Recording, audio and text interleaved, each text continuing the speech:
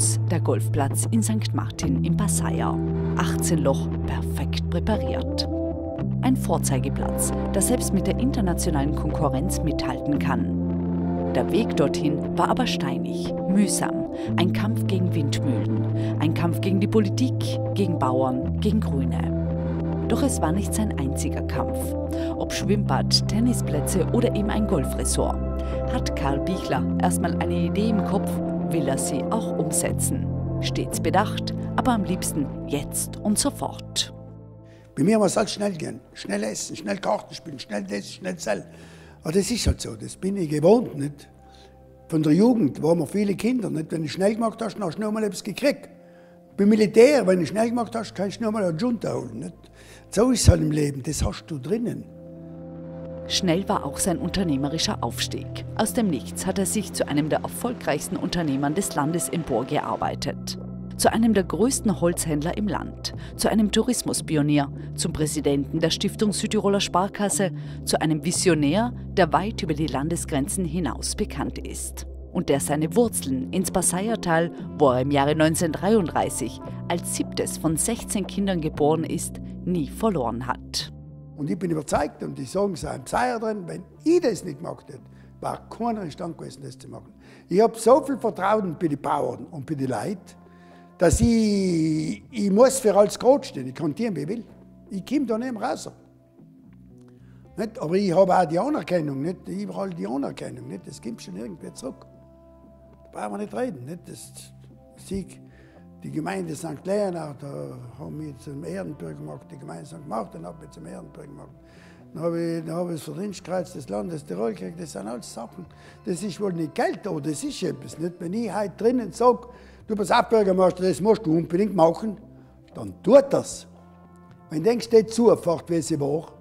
Wenn ich zum Bürgermeister sage, du bist auch Bürgermeister, die Straße, müsst ihr es verbreitern. Ja, er gesagt, aber zuerst muss ich mit dem Bauer handeln.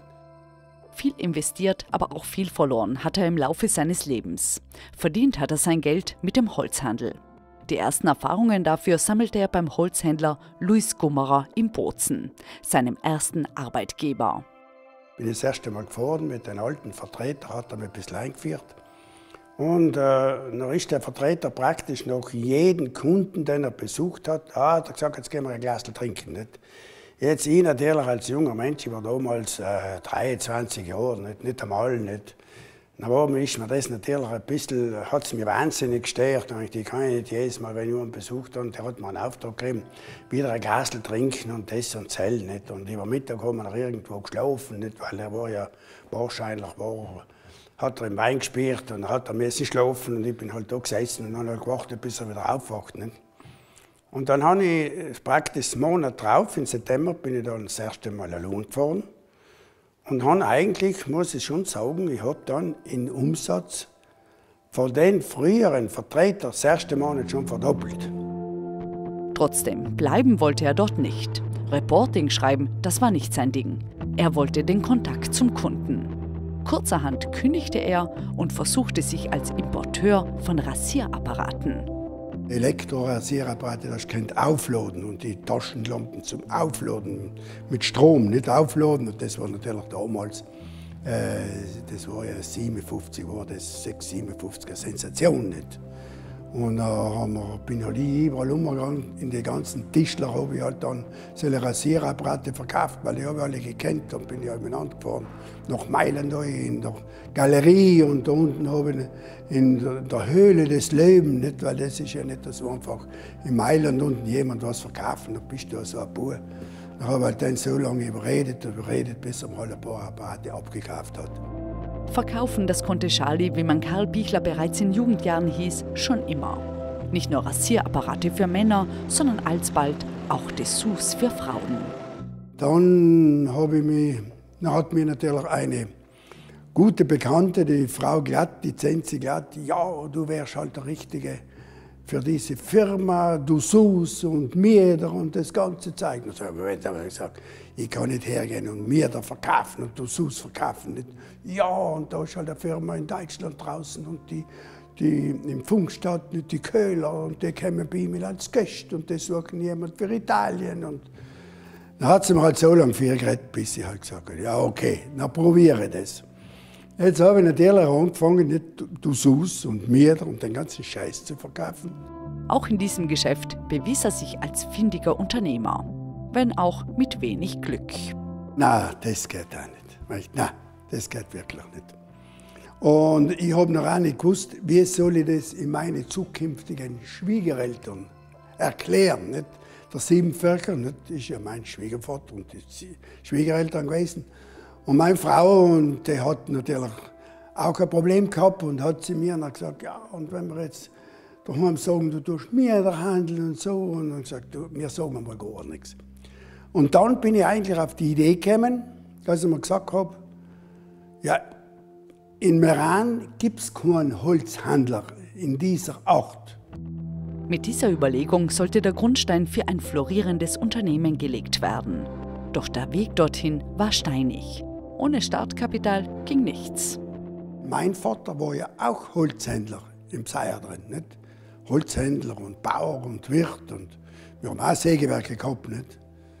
Und wollten natürlich mit meinem Vater reden, ob er mir Bürgen macht und mein Vater war ein sehr strenger, nicht? wir waren natürlich sehr viele Kinder und dann hat er natürlich auch zu mir gesagt, ja und du bist ja Narret und was willst du, was willst du in der großen Firmen Konkurrenz machen und halt mit mir da geschumpfen, nicht? ich war halt praktisch das Letzte. Am Ende ließ sich Vater Wendelin doch noch breitschlagen und schoss seinem Sohn zwei Millionen Lire vor. Und so wurde am 10. Mai 1958 die Firma Karl Pichler Edelhölzer gegründet. Ich habe dann angefangen, bin in der Früh gestartet, habe praktisch einen Mann im Lager gehabt. Ich habe die ganze Schreiberei gemacht, ich habe eingekauft, ich habe verkauft, ich bin Tag und Nacht auf dem Weg gewesen. Und bin zu meinen Kunden hingefahren, die ich früher gehabt habe als Vertreter vom Gummer. Und die waren alle zwischen erstaunt und erfreut, dass, ich, dass die da kommen. Ja, was, ich bin jetzt bei einem großen Weibrock draußen, bin ich zugekehrt. Dann sage ich, Herr Karl, was tust denn du? Habe das Visitenkarte lassen, ich bin jetzt selbstständig. Dann hat er gesagt, bravo, setz dich nieder. Jetzt hat er mir einen Auftrag gemacht, der Schenk Toni damals, einen Auftrag gemacht, dass ich mir gedacht habe, ja, wie soll ich das liefern? Das Zeug habe ich ja gar nicht. nicht? Und wieder musste er beim Vater anklopfen, ob er ihm nicht noch einmal etwas vorfinanzieren könnte. Kein Cent, hat er gesagt. Du kriegst keinen Cent und sie tust zu.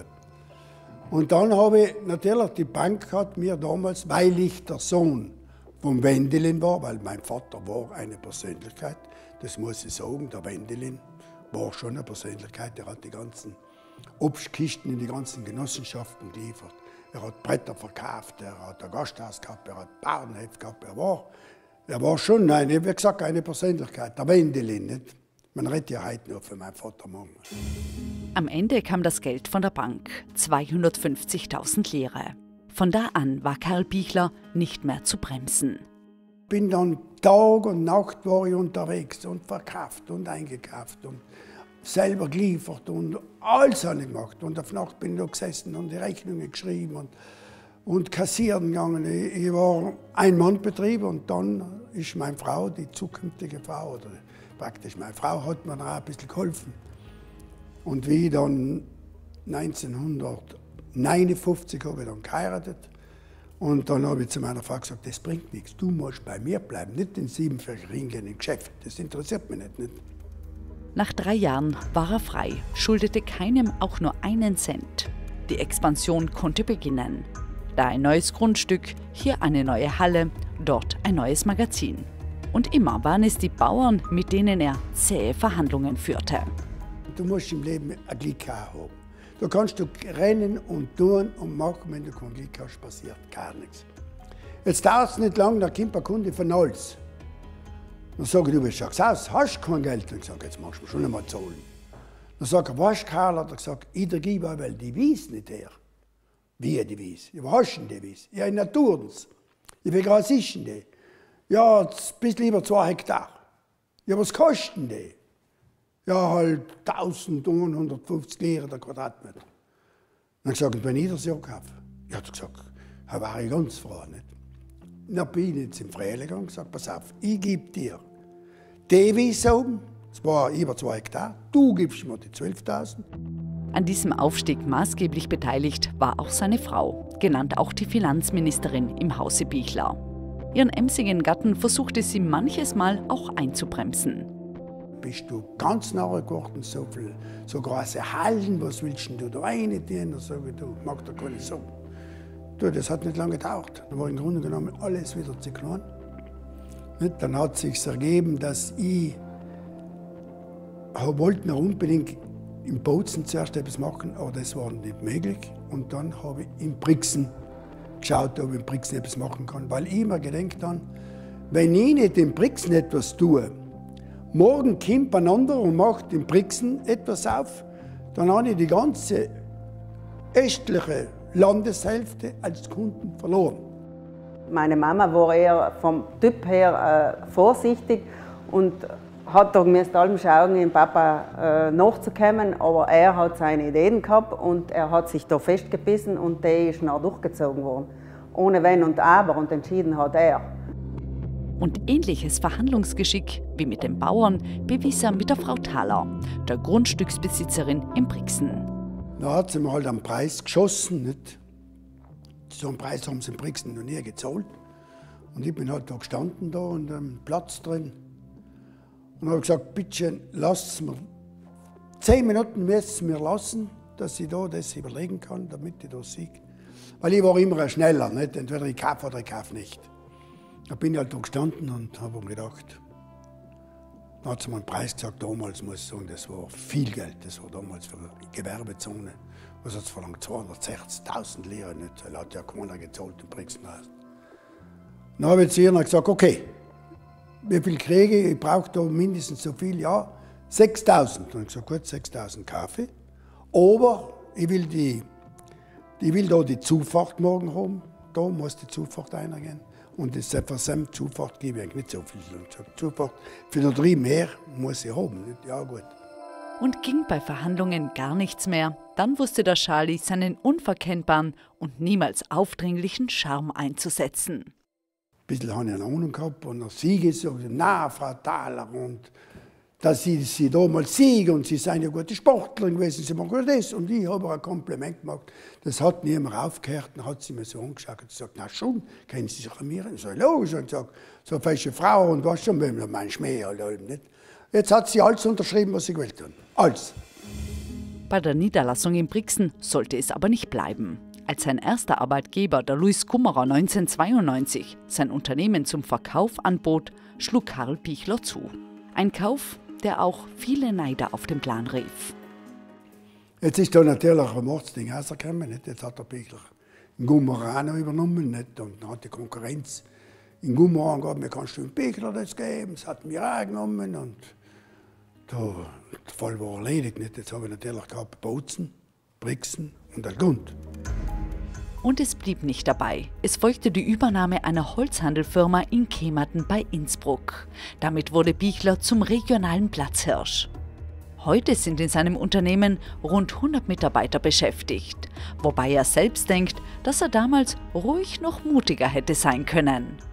Mir schon einfach vier gekommen. Du, es passt nicht.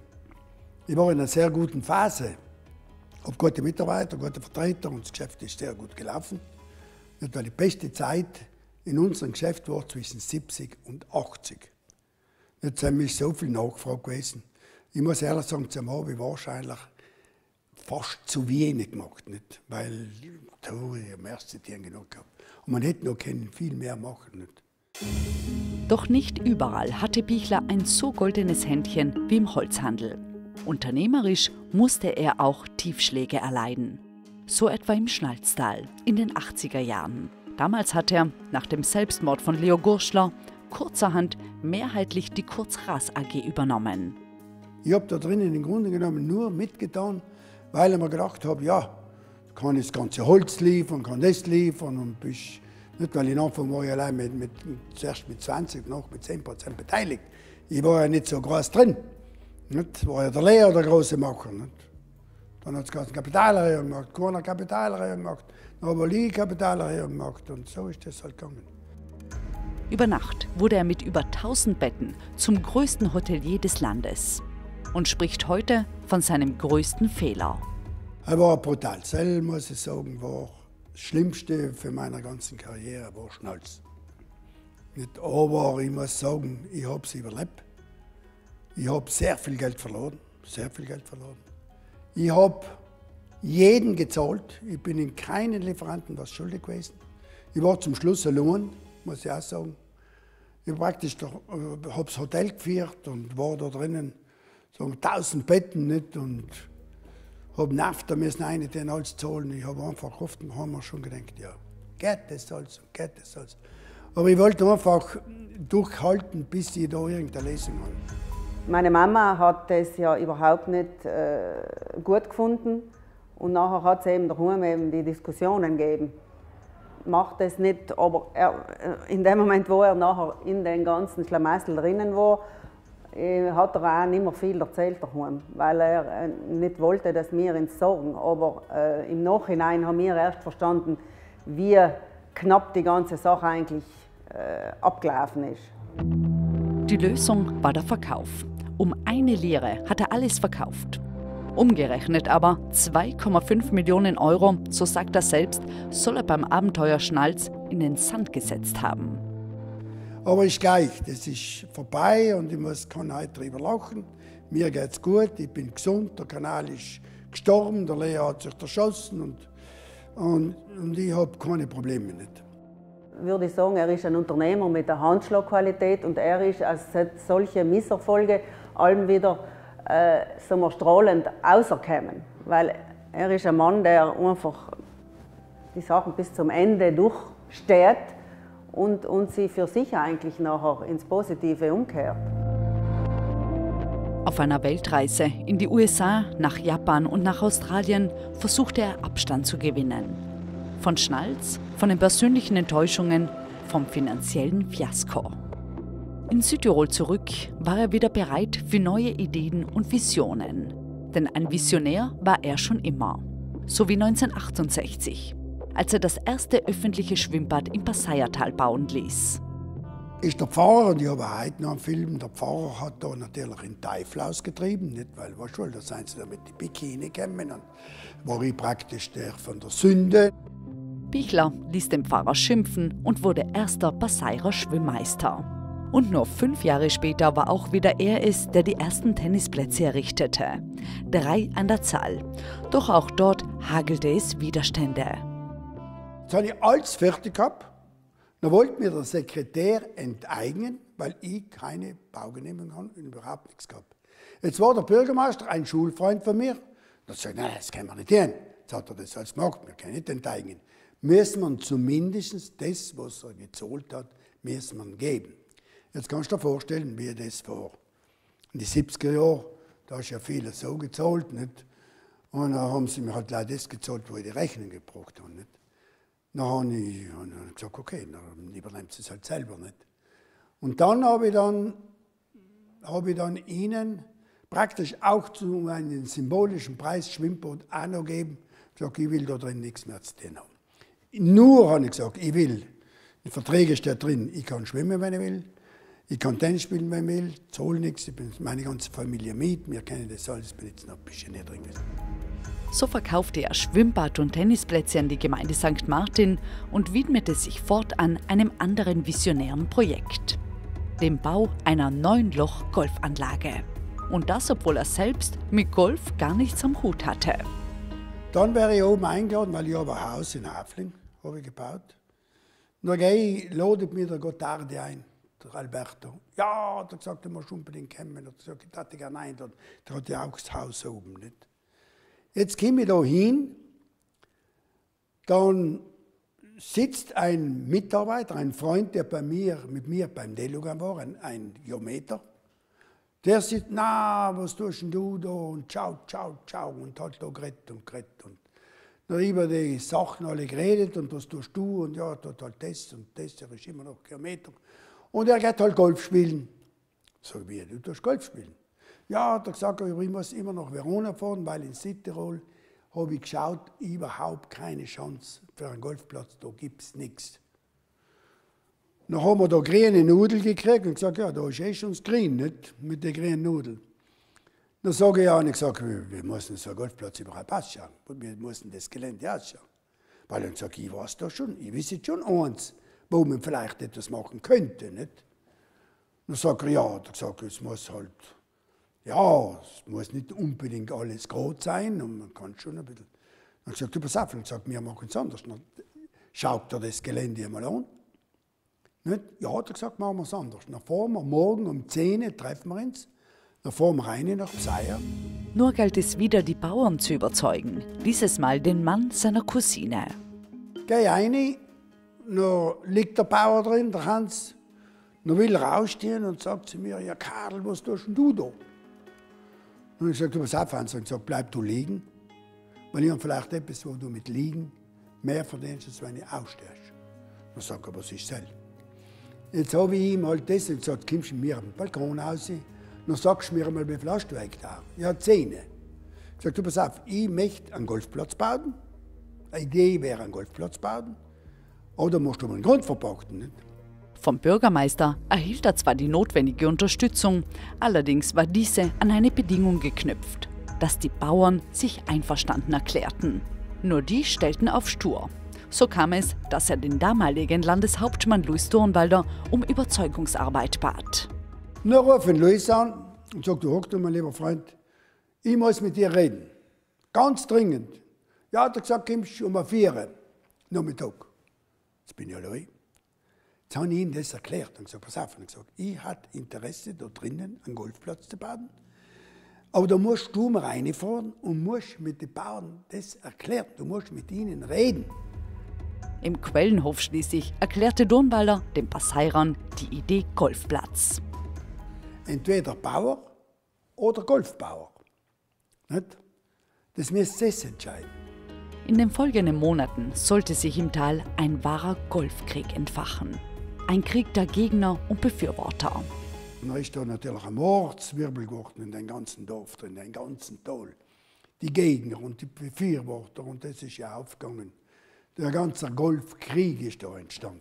Und alles haben sie mir da hassen und, und das, ist, das war brutal. Nicht? Ich habe es auch in einem Buch beschrieben. Nicht? Und, und ich bin ein Schwein und ich bin was weiß ich, was ich halt alles bin. Und, und dann haben sie, die Grundstücke werden teurer und die Hubschrauber kommen und die Kühe fressen die Bälle und halt lauter Blödsinn. Und der Pfarrer hat vor der Kanzler gepredigt, dass der Golf ist, ist halt äh, äh, praktisch negativ und, und lauter so Sachen. Nicht?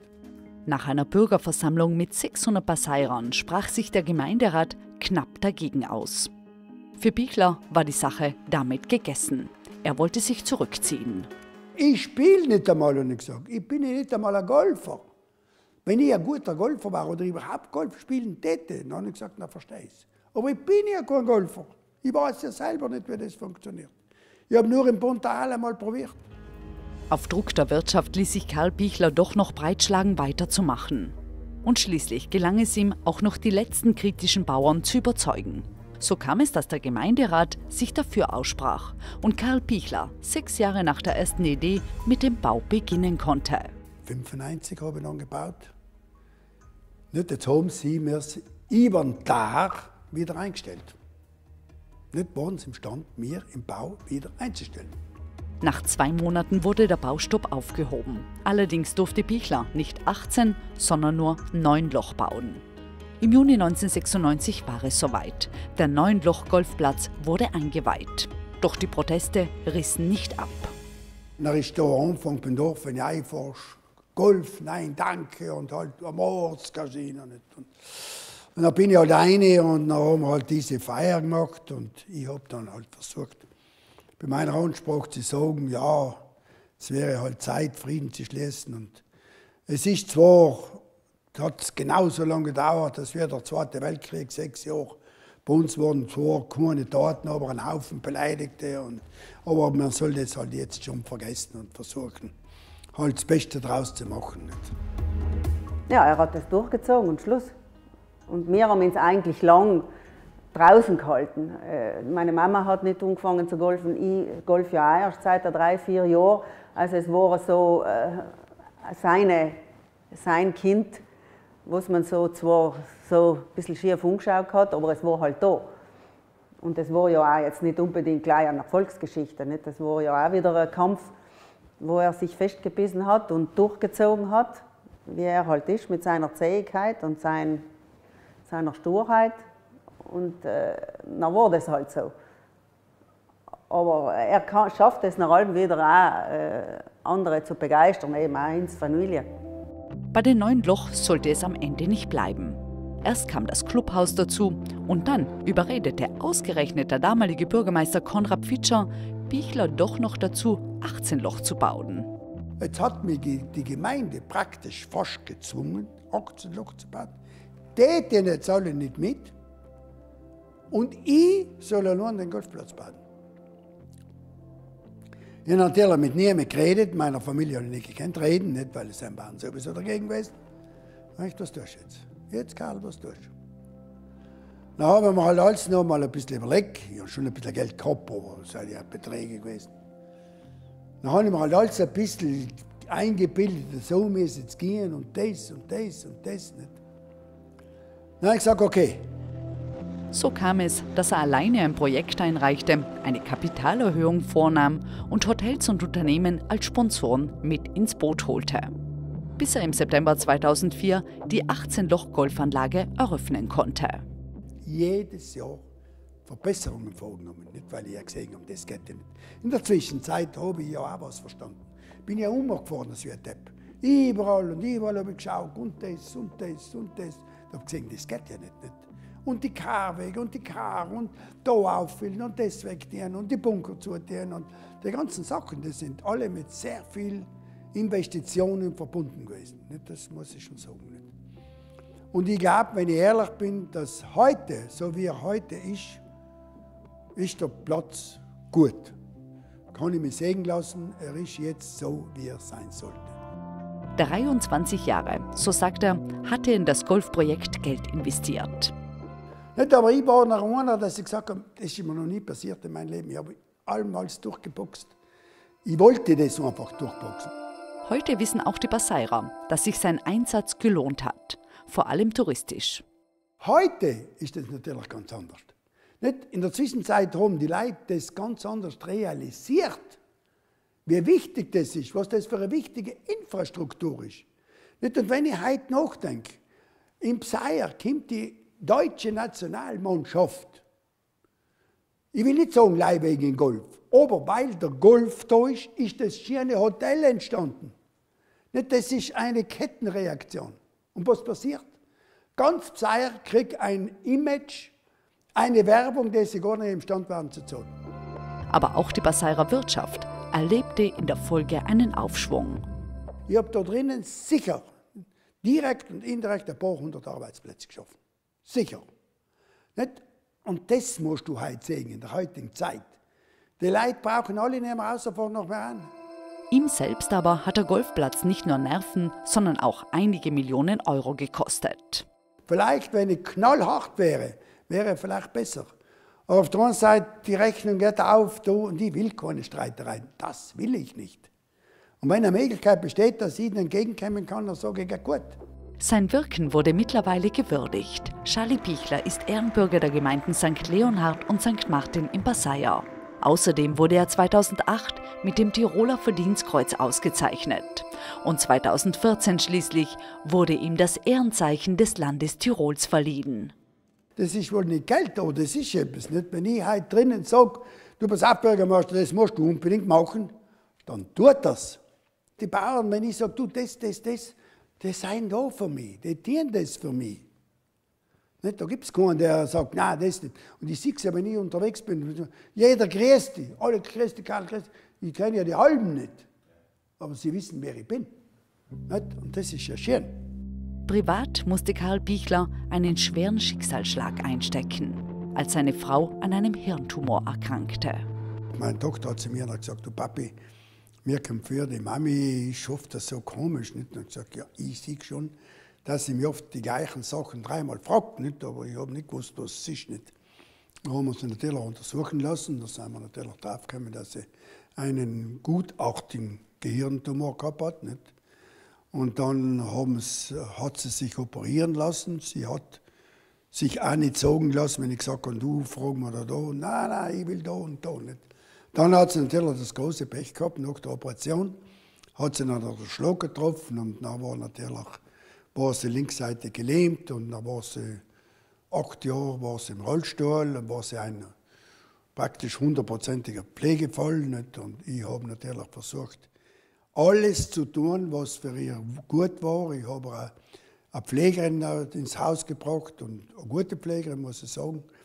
Die war 24 Stunden bei ihr und dann habe ich sie, habe ich sie auch mit der Pflegerin ein bisschen in Urlaub geschickt und ist in Hafling oben gewesen. Und sie war eigentlich, muss ich sagen, sehr fröhlich. Nicht? Sie hat nicht mitgekriegt, was mit ihr passiert ist. Nicht? 2009 schließlich ist sie an einer Lungenembolie verstorben. Ich muss sagen, das war die erste Zeit war es brutal, muss ich schon sagen. Aber man ist ja vorbereitet gewesen, nicht? Durch das, dass ich schon so lange im Rollstuhl war. Und dann war es eigentlich, es war wohl ein Schock, aber du weißt, sie ist erlöst nicht. Seit 2005 führen Karl Bichlers Kinder gemeinsam das Unternehmen. Tochter Renate ist für die Verwaltung verantwortlich, Sohn Christian für die Produktionsstätten. Und ich brauche mich eigentlich heute überhaupt nicht mehr zu kümmern. Ich bin operativ nicht mehr im Geschäft. Ich bin wohl beratend, manchmal. Ich habe mein Büro da und das passt mir. Ich komme, wenn ich will, ich gehe, wenn ich will. Ich rede eigentlich nicht viel rein. Karl Pichler ist froh, seine Kinder schon so früh ins Unternehmen eingebunden zu haben. Du musst die Jugend frühzeitig Verantwortung übertragen. Weil wenn es zusammen schlecht geht, dann kann ich nicht etwas dienen. Aber wenn ich es ihnen erst gebe, wenn ich niemand bin, und sie haben ein Problem, dann kann ich gar nichts mehr tun. Meine Mama war sehr eine starke Persönlichkeit. Und wir haben, also ich habe wirklich von der Picke auf äh, das äh, Geschäft gelernt. Also da wie der Papi eben sagt, äh, Bleistiftspitzen und Briefmarken picken und also wirklich äh, von unten auch und mein Bruder eigentlich auch.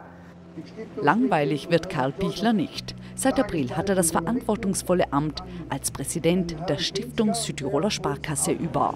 Beine hochlegen und nichts tun, das könnte er gar nicht. Ich versuche zwar, mich nicht aufzuregen und nicht zu ärgern, aber wenn du so ein Perfektionist bist wie ich, ich will, dass alles perfekt ist, alles schön und alles passt. Dann geht es nicht anders. Nicht? Das, das ist nicht möglich. Nicht? Aber da passt schon. Er ist einmal ein Mensch, der was sicher, der was nie, nie äh, Ruhe geben kann. Er braucht immer Bewegung. Er liebt es, wenn er unter Leuten ist. Hat eine super Ausstrahlung, äh, steht vor allem zu seinen Worten. Also, ob das dann äh, geschrieben steht oder Handschlag ist, ist ganz egal. Und das ist natürlich das, was für mich persönlich jetzt am meisten zählt. Jung halten ihn seine fünf Enkelkinder und zwei Urenkel. Aber auch der Sport. Ich bewege mich, tue jeden Tag etwas, verstehst du?